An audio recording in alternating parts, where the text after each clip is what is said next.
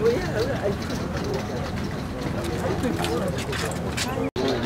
ne sais pas, mais ça va, c'est pas grave. Ok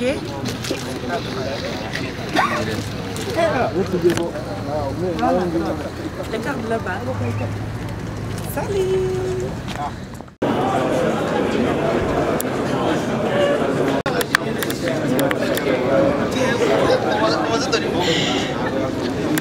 Dore imboga, dore umubu. Alba?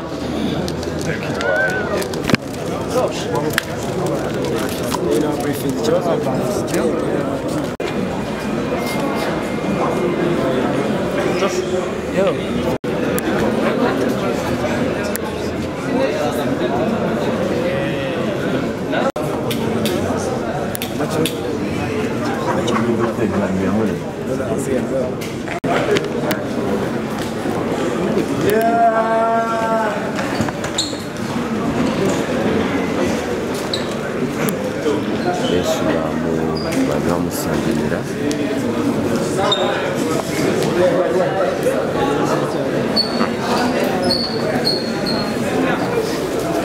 Remove the cap. And back? Ben. Right.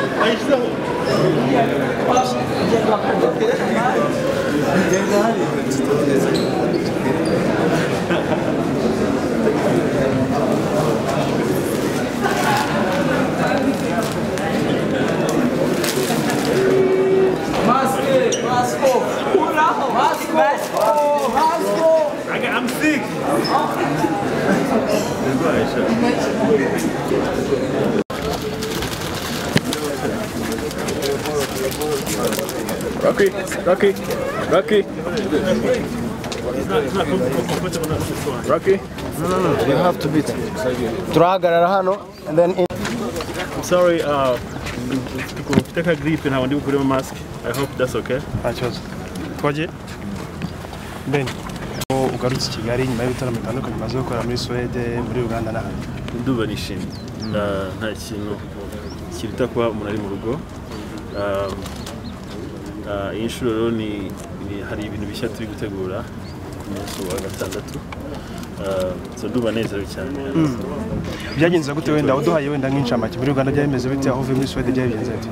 Muri uganda byari byiza cyane. Um, ni ibitaramo bibiri bitandukanye cya uganda n'icya swede ki- kirimo nka culture exchange bifashwemo na ambasade yacu hariya hanyuma uganda yari just a big show. Zabaye ebyiri actually so byose byari byiza cyane navuga ko experience nziza twagiyemo muri east african entertainment awards ni ibintu wakiriye ute? Ni ibintu byantunguye Uh, ni ibintu byantunguye ariko nawe ndashima imana ku- kuko uh, ni- byiza byongera mu bindi uh, n'icyizere abantu bakomeza kutubonamo. So nanezerewe. Bivuze iki ku muziki nyarwanda? Uh, bivuze ikintu kinini. Bivuze ko umuziki wacu uri kugana ahantu heza. Uh, tumeze nk'abantu ba- bafite umugozi turiho turakura igihugu cyacu tukizamura ahantu heza. Imbaraga zanyu imbaraga z'undi mu artist zose ziraza tukegeranya tukazamura igihugu. Hanyuma ben mu masaha ari imbere cyangwa se mu minsi mike iri imbere eh, urataramira muri bk arena.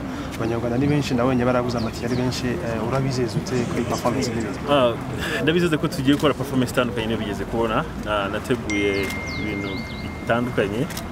Muri make ni ubukwe Yeah. Meddy nta butumwa yaguhaye ngo uhintashye abanyarwanda. Yabakumbuye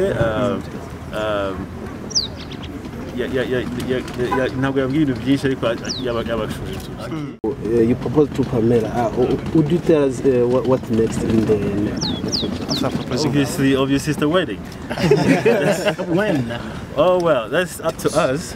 So ntabwo dushaka ko habaho pressure tu Yego, Yeah, hanyuma- uh, uje i kigali nyuma y'iminsi mike cyane cyangwa se amezi make utangaje ibya album. Eh, album muri uno mwaka tu- tu- tu- turayibona se hari korabo ziriho wenda waduha ku makuru kuri album. Al- album uyu mwaka igomba kuba byanze bikunze. Nawe ndabona nabo nisegure ku bantu kuko nabwiye album uh, guhera muri guhera mu kwa cumi n'abiri umwaka ushize. So habamo ibintu bitandukanye bijyanye n'ama n'ama n'ama distribution, distribution company twagomba gukorana na yo. Ni contract ntiza ntizahura neza zimwe zisubirwamo izindi zivamo. So but then at the end of the day tugiye tugiye tugomba naherukaga mu rwanda muri 2019 iki gitaramo ugiye gukora abantu bita cyitandukanye n'icyo wakoze nari kubivugaho uh, iteka nifuza kuzana impinduka muri performance. So iyi performance y'iki gitaramo nibaza ko uh, izaba iri hejuru y'ibyo byose twakoze Uh, ndumva ntayo reasoning right now. Kuko ntabwo mbaha igitaramo nawe Ah, ikibazo kimwe um, rwanda rebirth concert bivuze ko u rwanda ah, rwisubije ubuzima cyangwa se reka tuvuge ngo twongere turavuka bushyashya bifite aho bihurira n'umuziki nyarwanda. Ah, uyu munsi wavuga ko umuziki nyarwanda wavutse bundi bushya nka ben navuga ko byagiye mu bika. Twagize nabyita nka movement twagize abahanzi ba twarebeyeho mbere yacu aba KGB aba Mr ba banzi ba- bagiye mu by'ukuri baduha inzira ba Casanova. And then iyo era ivaho haza indi era gutyo gutyo. So bisa nkaho aba- abanzi nyarwanda basobanukiwe ko bagomba gutanga umusanzu mu guha umunezero cyangwa se mu kubaka igihugu mu gusubiza abantu uh, kongera kuba proud y'igihugu cyacu uh, bitewe n'amateka twagiye tugira past. So um, ndi, ndi proud y'abahanzi bose muri rusange ndi na proud y'igihugu cyacu. Hanyuma ben eh, eh, diamond yashyize ingufu cyane muri korabu yawe ni igisobanuro cy'amafaranga eh, wamuhaye cyangwa se cy'ubucuti n'ubufatanye? Ni isobanuro cy'ubucuti n'ubufatanye.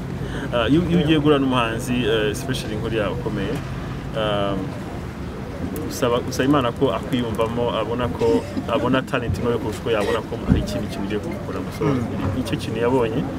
Kuko nk'uko mubizi amafaranga ntabwo akora ibintu ahubwo uh, amafaranga akora ibintu ariko ibi- ibirutaho ni the chemistry the chemistry ujyana n'umuntu ukiva aha ukumbuye iki cyane? Ah, ngumbuye mama. ngumbuye mama, miss mama. She's my fiance. Pamela Yeah, obviously. Uh, so yeah, ngumbuye inshuti zanjye zose muri rusange, ngumbuye abantu. nawe butumwa noneho waha abanyarwanda hanyuma tugasoza Abanyarwanda nuko bashimira cyane kuko kuduhora uh, inyuma ba- badushyigikira. Uh, aho umuziki wacu ugeze, ntabwo ari ubuhanga bwacu.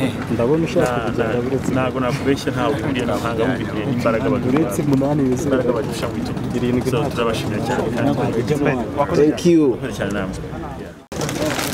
open the can. kit.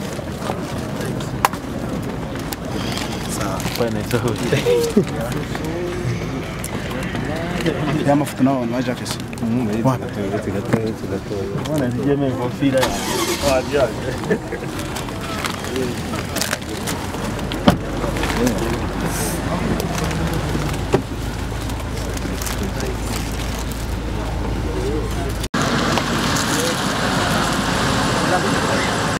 Tân.